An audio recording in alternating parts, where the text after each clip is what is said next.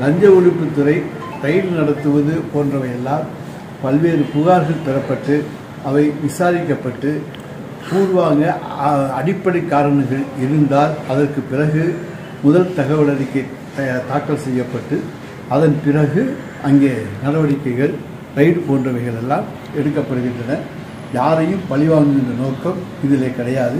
மாண்புமிகு தமிழக முதலமைச்சர் அவர்களுக்கு யாரையும் பழிவாங்க வேண்டும் என்கின்ற எண்ணமோ அவசியமோ கிடையாது. பல்வேறு பொது அமைப்பினர் சமூக அமைப்பினர் தொண்டு நிறுவனத்தை சார்ந்தவர்கள் இவர்களெல்லாம் பல்வேறு புகார்களை அனுப்பி கொண்டிருக்கிறார்கள். அவை விசாரிக்கப்பட்டு அந்த விசாரணையிலே அடிப்படை ஆதாரங்கள் வழக்கு பதிவதற்கு வழக்கு பதிவு செய்வதற்கு போதிய ஆதாரங்கள் இருந்தால் அதன் அடிப்படையில் வழக்கு பதிவு செய்யப்பட்டு அதன் அடி அதன் பிறகு ரயில் போன்ற நடவடிக்கைகள் மேற்கொள்ளப்படுகின்றன.